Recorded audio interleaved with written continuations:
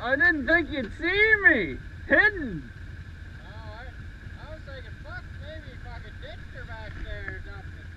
Yeah? I didn't know where the fuck you went. I was like, I'll get to the end of this road, and if I don't fucking see him, I'm going to have to go back. Yeah. No, I figured I'd try to get you. Yeah. Anyway, still got lots of fuel?